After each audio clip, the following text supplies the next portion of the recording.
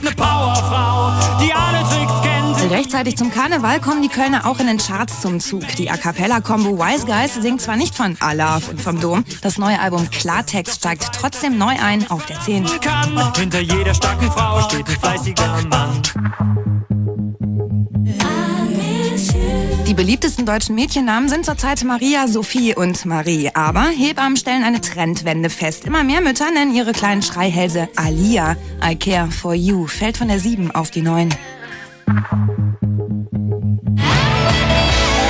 Nächstes Wochenende startet Avril Lavins Deutschlandtour und um textsicher mitsingen zu können, muss man natürlich üben, üben, üben. Dementsprechend erfreut sich das Unterrichtsmaterial reger Nachfrage. Let Go explodiert förmlich von der 29 auf die 8. Mastermind 3D kann gar nicht verstehen, warum alle Massive Attack so düster finden. Die Leute sind Musik nicht mehr gewohnt, die intensiver und anspruchsvoller ist als der Mist in den Charts, sagt er. Apropos, 100th Window fällt von der 3 auf die 7.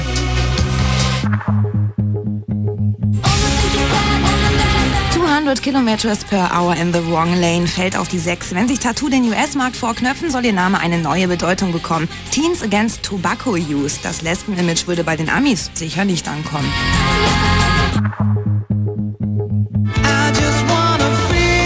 Robbie Williams scheint neuerdings Gefallen an etwas schwereren Kalibern zu finden. Angeblich wurde er mit Kelly Osbourne beim Knutschen erwischt. Dickes Ding finden die Deutschen und tiefen Escapology rauf auf die 5.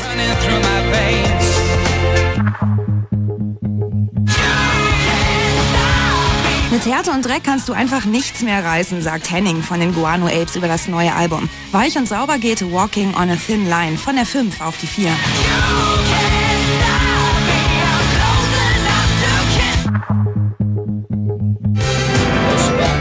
Herbert Grönemeyer ist frisch verliebt. Sonja soll die 31-jährige Schweizerin heißen. Frühlingsgefühle bekommt er auch gleich das ganze Album Mensch flattert 3 rauf auf die 3.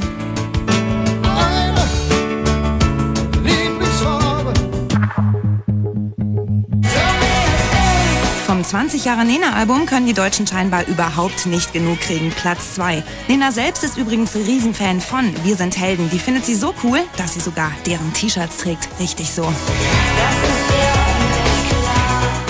Die Spannung war groß, die Spannung war fast unerträglich und jetzt ist sie da. Wir sind angekommen beim Platz 1 der Album Top 50 dieser Woche.